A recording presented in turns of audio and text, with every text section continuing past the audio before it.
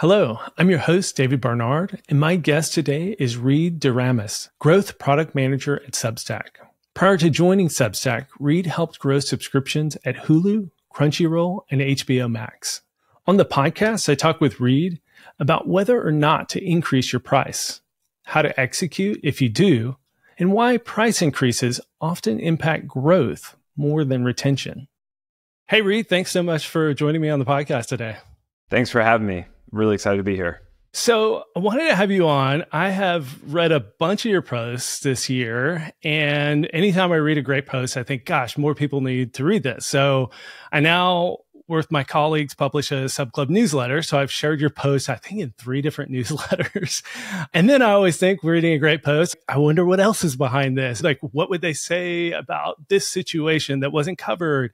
I said, Hey, I've got a podcast. I figured I'd have you on and we could talk through some of your posts. So we'll link to the posts and your growth croissant blog in the show notes so people can go follow along if they want. Really great stuff. We're not going to like read the posts. We're not going to cover everything, but I want to kind of hit some of these major topics. So the most recent one you wrote, and I think is super applicable right now that a lot of apps are thinking, should I increase my price? And then if I am going to increase my price, how do I do it and not get the backlash and everything? So I wanted to kick off talking about that. So let's just start with should you raise your price? Well, thanks again for having me on and really appreciate the kind words. A lot of the times, like you'll write a newsletter post and you don't know if it lands or not. So really appreciate you and appreciate you sharing it. The price one was one that was timely because Spotify, which I've subscribed to for, you know, the past decade, is doing their first price increase. And I think they've kind of made it through by now. And there's a lot of writing out there. And it was something that we wrestled with a lot in the streaming world because it's like one of the most impactful ways to drive up customer lifetime value and drive up revenue. But there's this really hard balancing act with executing a price increase well. And the trade offs are usually like, how much near term revenue gain can I try to capture? And without sacrificing your long term growth potential. Because if you go too hard into the price increase, you may get a lot of revenue early on, but it could kind of erode your growth velocity. One specific metric to think about is your year over year growth in paid subscribers. That's the one that you kind of want to pay attention to after you do these price increases and yeah, we can go a lot of different ways from there. But I'm actually curious to get your take on Disney Plus and how this has played out. So they actually, again, announced a price increase recently, lambasted in the press. Worst time ever to do a price increase. Everybody's complaining about Disney Plus quality going downhill.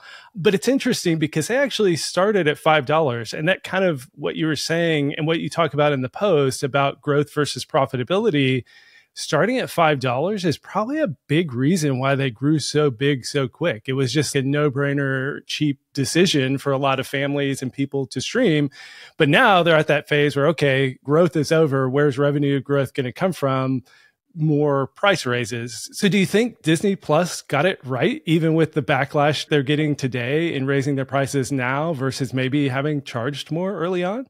And it wasn't just Disney Plus. I think when we were at Crunchyroll, even Hulu too, the primary metric was paid subscribers. And baked into that was this assumption that over time you could gradually increase price. I think Disney launched at a really low price point. And a lot of people were getting Disney Plus for free as part of Verizon. They had like a pretty big partnership with them. They had really discounted annual plans at launch, if I remember correctly. And of course, they bundled it with ESPN Plus and Hulu, which I think a lot of people bought that as well. So when Disney Plus launched, there was a lot of, oh my gosh, they got to like 100 million subscribers so quickly.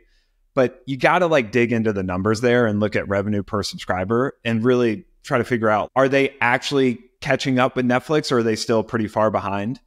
And I think if you looked under the covers, the revenue per subscription wasn't quite there. Whether they're doing the right thing now, it's what they have to do. Like if you look at the streaming space broadly right now, it's not the easiest space to be operating in. It's been fascinating over the past decade watching a lot of these traditional media companies try to move from cable TV into streaming video where the skill sets needed to grow those products are very different. You have to like think about direct to consumer relationships and how to grow subscribers that way versus doing carrier deals with a handful or more pay TV operators. Totally different skill set. And the economics are really different. So I think it's been kind of a wild west and there's a lot of volatility right now. There's a lot of M&A. I think that consolidation will continue. Whether they handled it right or not, I don't really know. And I don't know if it really matters. I think they're doing what they kind of have to do at this point, along yeah. with a lot of other streamers too. In that is kind of, and you talk about this in your post, is that you will get some level of pushback. And I mean, anytime somebody has to pay more for what they perceive to already be getting, there is going to be pushback. I'm a father of four kids and inflation's hitting pretty hard. I mean, I'm getting a little more sympathetic to maybe always raising prices isn't the best idea. How do you think about the consumer sentiment part of the decision of whether to raise prices or not? Well, one thing you mentioned there that I think is important is if you're asking them to pay more for what they perceive as the same product, it's a tough sell. Maybe a marginal price increase will go through okay, like a $1 price increase, $2 price increase. That seems to be kind of the standard set by Spotify and Netflix. Each time they raise price, they're not doubling their price in one swing, they're kind of marginally going up. The thing that we've seen consumer products do well when they're doing a price increase is reaffirm the value prop that people are paying for. And you can also tease any upcoming changes that would like materially improve the product, the value prop. And I think that can really help get you through these price increases. And so I think communications are really, really important.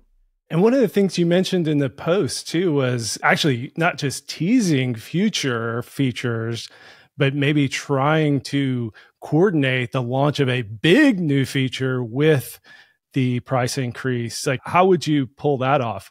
Exactly. Like, if you were Disney and you had like some huge Star Wars series in the pipeline, I would try to time the price increase roughly around when those shows are going to premiere. And you could say in the comms, this is what we're doing with, we're not just asking you for more money for the sake of it. And don't blame a price increase on like inflation or something that consumers can't control. That's kind of like one of those uncontrollable factors. Like cost of gas is going up. Sorry, we got to increase our price. It's usually best to focus on your product and how it's getting better and how you're going to use this extra money to continue to make the product better. And keep in mind, the people who are paying for it already definitely value your product in some way. So they're going to be usually thrilled with that idea of you trying to make a concerted effort to continue to improve.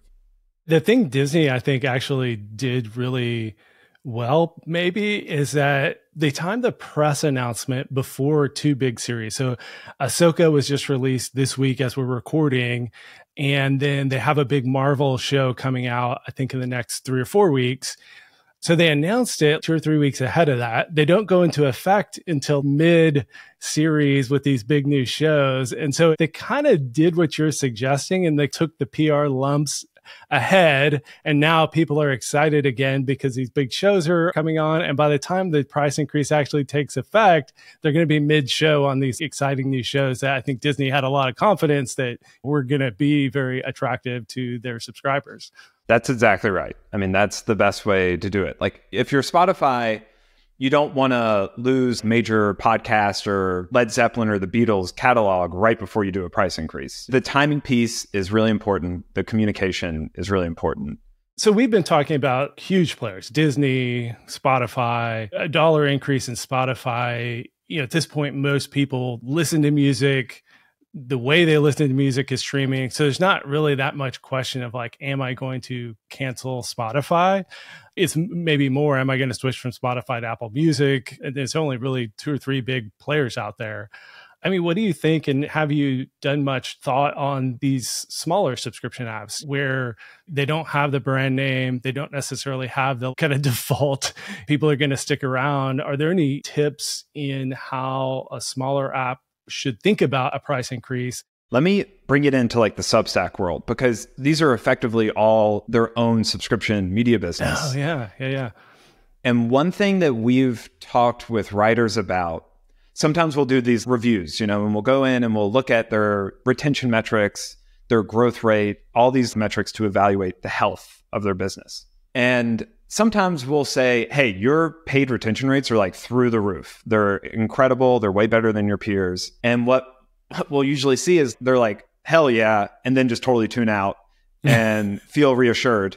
But there's a flip side to that, which is that can also mean that your product is underpriced or that you're not being aggressive enough trying to grow your audience. And so the phrase that we try to hammer home is your health metrics are too good.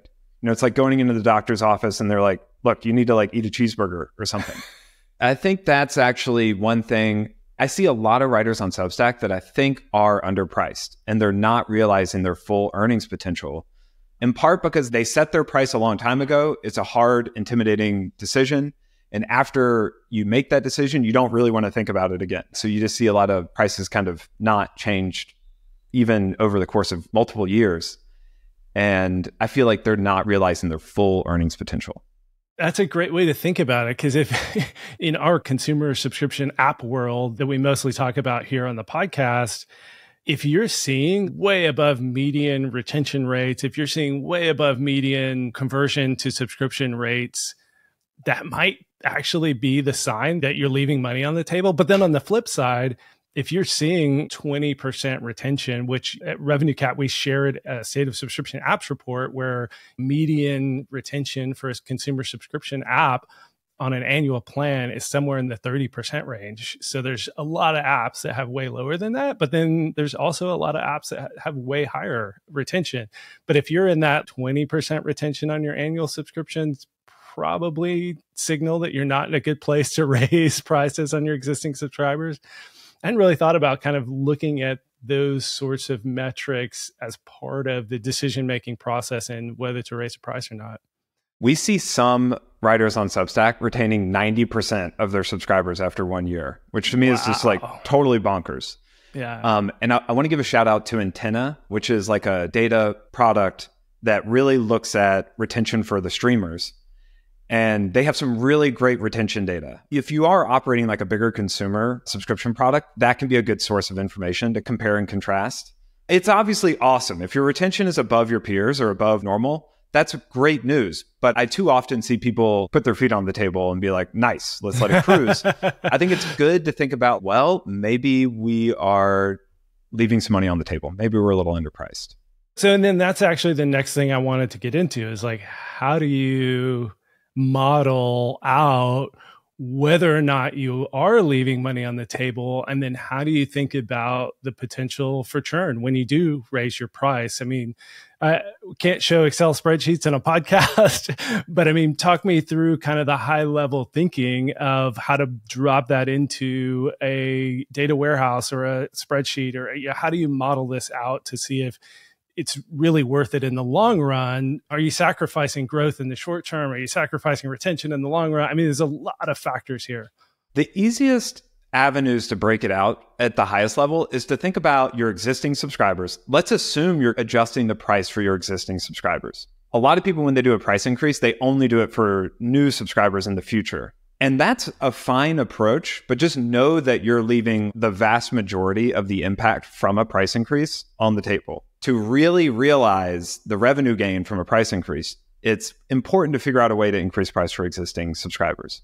I would caveat that to say if you're really early in your journey and there's not that many subscribers, that's the best time to just grandfather people in and not piss people off, not mess with your churn. Like later stages when that's maybe most applicable. But that's part of the calculation, right? Like how many existing subscribers do I have? And if I raise price on all of them, is it actually meaningful revenue and worth doing? That's a great point. Keep in mind too, the people who you're talking about in that early stage are people who are your founding members. I remember the first person who paid for my newsletter, I'm like, you're God's gift to earth, you know, like, thank you so much.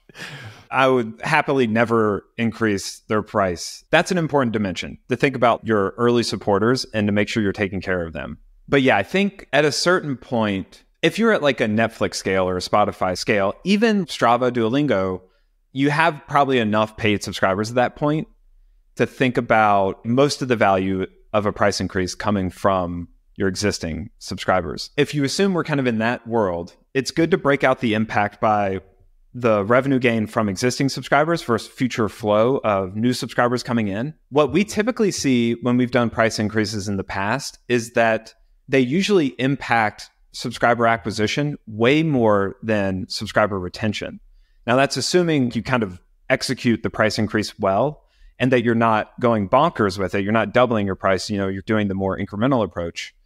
But usually, if you execute well, you won't see much churn from your existing subscriber base, but you will see a little pressure on new subscriber acquisition. So, say you're adding 100,000 new subscribers per month and you increase the price by 10%.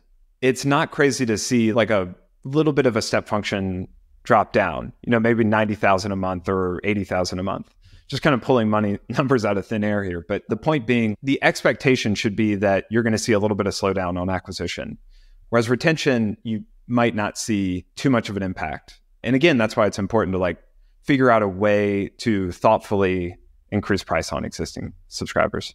The basic equation is like, do you want fewer subscribers paying you more money, or do you want more subscribers paying you less money? And then there's really a very few who can achieve the kind of more subscribers paying you more money. It does happen. One of the things a Spotify and a Disney Plus and others can't do because they are such a big brand is actually test the price increase on new users before they actually raise the price on existing users. And maybe that's actually a, a great way to think about it for apps that can get away with that is if you're not a brand name, if people don't know your price offhand, if the press isn't going to write about your price, then you can actually go ahead and see first what the impact is on new subscribers. And then if you find that sweet spot, maybe that's the time to then start thinking about rolling that price out to all the existing subscribers. Yeah, there's a lot of different ways to go about it. Testing price increases is really hard. If one person sees two different prices and they kind of figure out what you're doing, that can make its way to X or Reddit, and then you got a thing to deal with.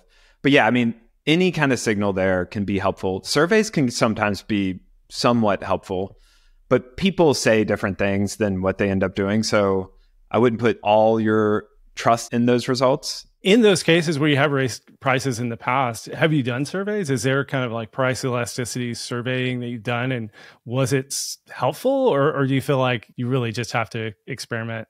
We've definitely done a lot of surveys and not only to find like what our core price should be, but to think about what our most passionate fans would pay relative to like your core subscriber. It's kind of like you want to separate out what the top 1% are willing to pay. They maybe have more price elasticity or a higher willingness to pay a higher price for maybe not even that much different of a product relative to like your core product, which is what most people are buying.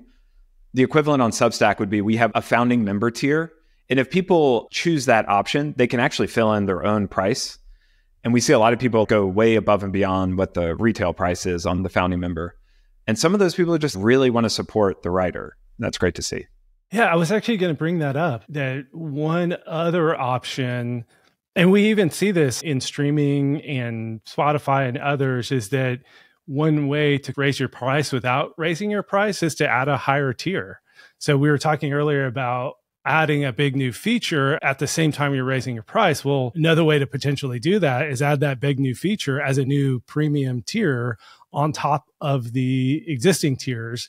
I wonder if that's actually a better option than raising your price for some apps. It's actually starting to do the tiering thing. Do you have any thoughts there? And the, I mean, the problem with tiering is complexity. Is that how many prices are you showing? Your paywall gets confusing. What are your thoughts on tiering as a way to raise prices?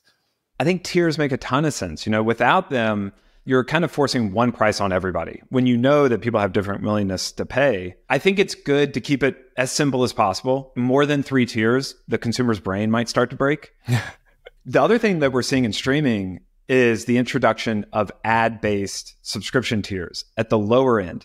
And I think a lot of this is just reaffirming your point around you're trying to think about how many paid subscribers you can realistically get and what the revenue per subscriber is and how they break that out across different tiers, subscription tiers.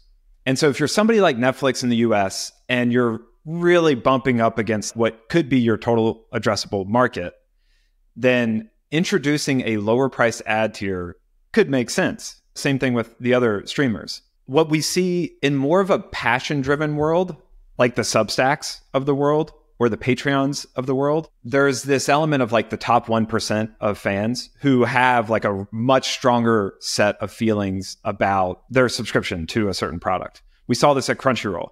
We had this thing called the t shirt test, which was like, if you wear the t shirt of that brand, then it's saying something about who you are, about your identity. And when you see somebody else wearing that Crunchyroll t shirt, you have this immediate connection, this immediate trust. And it's a great symbol for the depth of relationship somebody feels about a brand. And so, yeah, not all subscriptions are created equal. And so I think something like Crunchyroll probably has a better shot at like a higher priced subscription tier that has some other stuff in it. Whereas Netflix's highest priced tier is more like a family plan. It's a functional value prop.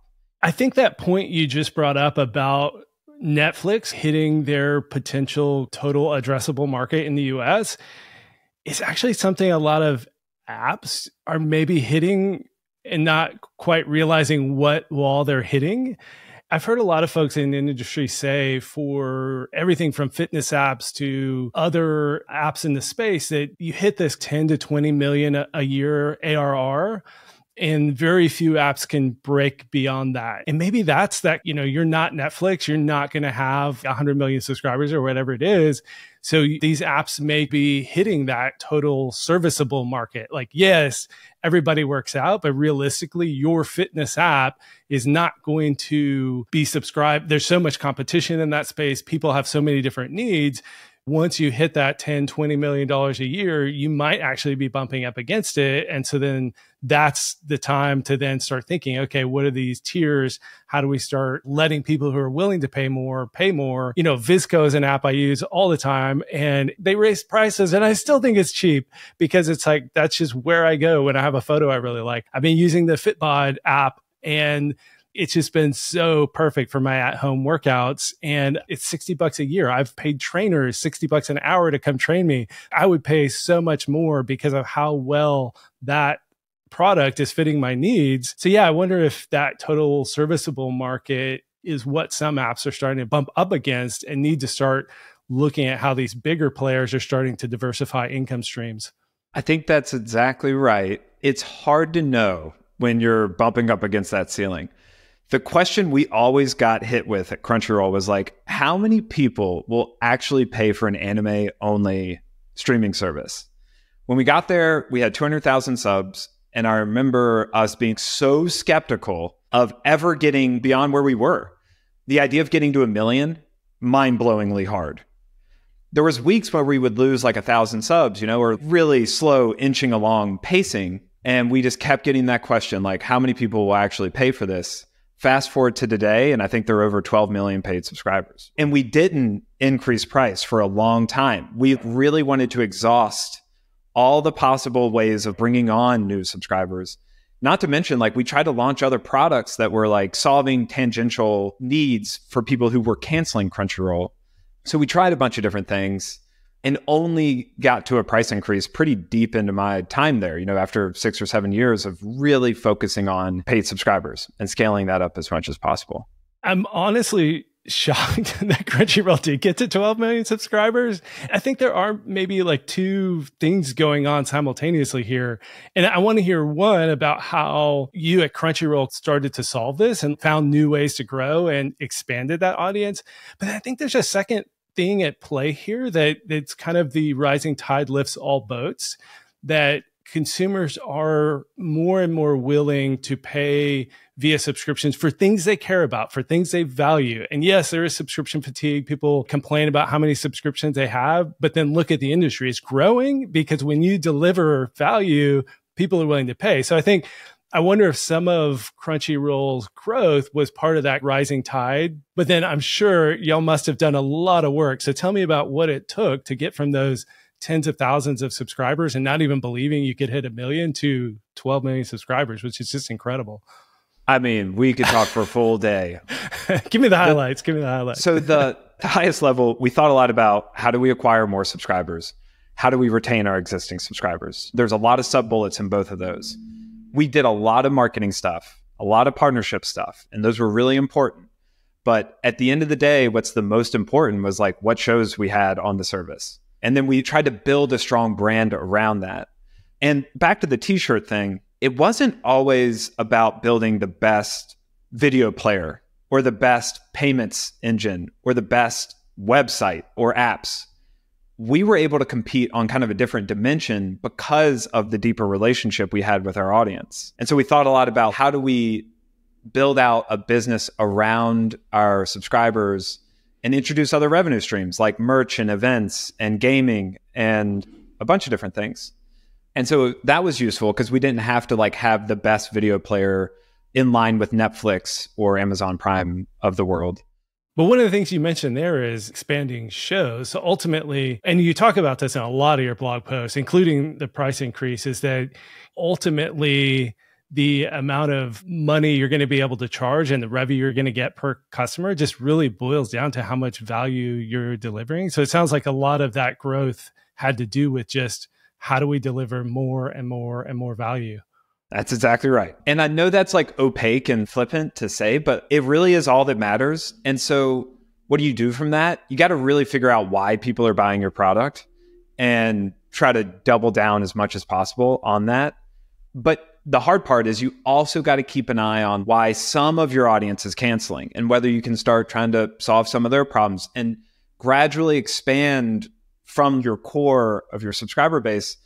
One example from Crunchyroll, when we got there, most of the people who were paid subscribers to Crunchyroll at that time were the most hardcore anime fans in the world. And we had to adjust how we welcomed new anime fans. And that's like a branding and vibe thing. And that showed up in some of the marketing stuff we did. But that was a big change. And honestly, it took a little bit of a change within the company from a cultural perspective because the company was all diehard anime fans. And so, yeah, I think there's mechanics like that to be mindful of and to think about like, okay, I need to figure out the value that my existing subscribers are getting. I need to make sure I'm reinforcing that. But I also need to be mindful of how to slowly expand from my core audience today, too, if I want to continue driving subscriber yeah. growth. How do you figure that out? I mean, you actually talk about this in several other posts, but let's talk through aspects of that. You survey your users, you product analytics. How did y'all figure out who those core users were and what kept them? And then how did you figure out what those lighter users who they were and then how to kind of bring them deeper into the Crunchyroll experience? Surveys are crucial, and there's different ways to do that. You could do like live interviews, pick up the phone, talk to some of your most passionate, longest tenured subscribers, figure out why they have been around for a while. You could talk to people who are canceling like right away and try to get a sense of what's the difference here. One easy analysis we did pretty consistently in the streaming world was this was back when free trials were a thing. You could do it with like the first billing month as well. But look at the people who are canceling their subscription early on. Look at the people who are making it through that period and look for the behavior that is different about those two groups and try to figure out early on what is indicative of risky behavior, what is signaling valuable behavior, try to bend the product in those directions. That onboarding period is like the most crucial part of a subscriber journey. And that could be the first day, the first app session, or the first month that somebody's using your product that's usually the place to focus if you're really trying to like figure out why people are getting value from what you're providing and trying to figure out how to like bend the product more toward that direction. That's a more objective data analysis exercise. But yeah, I would definitely do the surveys and you could do that as part of onboarding or just kind of ad hoc to your whole audience. And there's different flavors of that. You could just send them like a Google form or you could literally hop on a Zoom and talk to some people and really dig into what they value and what they would like to see from your product. Yeah. So for the people who are canceling, how do you really suss out like there's cohorts that are just never going to subscribe. So there's I think you say in one of your posts there's three buckets. It's like the people who subscribe and say subscribe, the people who cancel but you actually have potential with them and the other people who are just not worth chasing. But how do you figure out who is who? And then, especially, I think a lot of people will be thinking, okay, the people who cancel but are actually winnable, how do you suss out what's actually going to be valuable enough to keep them subscribed and go after that market? Yeah, there's like gradients here, I guess. Um, yeah There's some people who maybe try your product and they ask for something that's totally abstract, totally different than what you're trying to do. In a lot of those cases, I think you just got to say, okay, well, thanks for coming by. We'll see you later. Then there are people who are asking for things that are not totally different than what you're doing today. For example, with Crunchyroll, we'd get a lot of requests for like popular shows or shows that were kind of under the radar that we could reasonably try to go get and we'd go try to get it. If we got it, we'd email them and say, "Hey, this is now on the service. Do you want to come back?" And maybe potentially offer some kind of discount to come back or a trial period. It's kind of an intuition thing. I think most operators will probably be able to suss out, okay, this person just probably accidentally signed up or totally misunderstood our value prop before they signed up. Yeah. This person's pretty close. And I think we could win them back if we just made some slight adjustments or slightly bent our product in this direction. It's fascinating too in the consumer space just how big the numbers can be. Is that if you have product market fit adjacency where people are coming in for some reason, but you're just not quite solving their problem, if you figure that out and go from 10, 20% trial start rate to 25%, 30% trial start rate, it can just make such a dramatic difference in your business. And it's not like growth hacking your paywall. you have to actually deliver the value. You actually have to figure out what they need and solve those problems. It feels like there's just so many competing things there, like how much effort you put into new features, how much you're testing your paywall, how much you're offering discounts. There's just so many things to be thinking about. I mean, the thing about writing the newsletter has been this is all just like a balancing act. Yeah. And it just takes high judgment decision making. There's no universal right answer to balancing between all these pieces. Right. um, I think it's like getting a strong sense of your business and like what is driving revenue growth. And then being mindful when things start ticking in different directions. One thing that we talked a lot about in the streaming world it's like this pendulum swinging between different business priorities and growth and profitability and all these counter forces. And you're always just trying to like fine tune and tweak things and choose the right path. But it's all a balancing act and there's no universal right answer. And that's why it's been fun to write about the frameworks because I'm just trying to write out the constructs of how we made certain really hard but important decisions. And one of the things you keep coming back to in a lot of your posts is that it really does depend on stage. Like if you're kind of early and pre product market fit, maybe don't worry as much about oh retention, oh which gosh, is kind yes. of like counter advice to what a lot of people would expect. Like, oh, you need to solve the leaky bucket first through all these retention tactics and win back campaigns and all that. But when you're early, probably better to keep focus on product. It's interesting how you end up in these frameworks talking about the context around those different kind of growth stages. When you're pre product market fit, you should really just be focused on trying to really find the sweet spot of what you want to do and the product you want to build and an audience. You should not be really worried about what your cancel flow looks like or overthinking price. It's really about a relentless focus on finding product market fit. And I know that's like another opaque phrase, but that's all that really matters early on. And so one of the risks I have with writing the newsletter is there's a bunch of, I think, early stage writers on Substack reading it. And I really don't want them thinking about running paid ads out of the gate or thinking about how to better retain long term subscribers. It's a total different set of priorities. And it's about just finding that initial traction, which is extremely difficult. Yeah. Interestingly, though, in one of your posts, you do kind of mention that when retention is super low, it might actually be time to just completely rethink things. So, I mean, it's going to vary business to business, and Netflix looks way different than the kind of like I was talking about. The median subscription app does have fairly low retention. But yeah, how, how do you decide, you know, is retention reasonable and there's a path to more value, or is it just so low you need to like rethink things? Yeah, if you have like a bunch of people downloading your app, using it once and never using it again, I think you don't have product market fit at that point. It doesn't even have to be that extreme. If they use it three times in the first week, but then never come back, that could work for some consumer products, but for most, probably not. So I think retention is a part of evaluating whether or not you have found traction. But I don't think it's worth thinking too hard about, don't beat yourself up about like some of the retention stuff that we've written about, especially those growth tactics. You know, it's like offering discounts in the cancel flow or trying to solve the problem in the cancel flow. Yeah, there's different growthy tactics, which are really aimed at catching people on the fence about canceling before they actually cancel. I would put all that stuff out in the future after you have enough subscribers for that to be meaningful. Yeah, and that's a good point too. I mean, I hadn't thought about it quite this way, but it's like early on, your product should be what retains, not growth hacks. Like if you're having to work so hard on subscriber lifecycle marketing and doing all these win back campaigns and offering discounts, then that's actually probably a sign that you need to double down and figure out what's wrong with the product, that the product, the value you're actually delivering is not what's retaining them. Yeah, exactly. All right, Reid, we could talk for four more hours and maybe uh, I'll have you back on at some point to talk through like 10 more blog posts because they're all so good. We got through like kind of one and a half or, or one and two quarters, but it was so fun. And we'll link to all these blog posts that we mentioned and Growth Croissant. But anything else you want to share as we're wrapping up? No, this was awesome. I would love to come back. Thank you for sharing the newsletter and thanks for having me on. It's been a blast.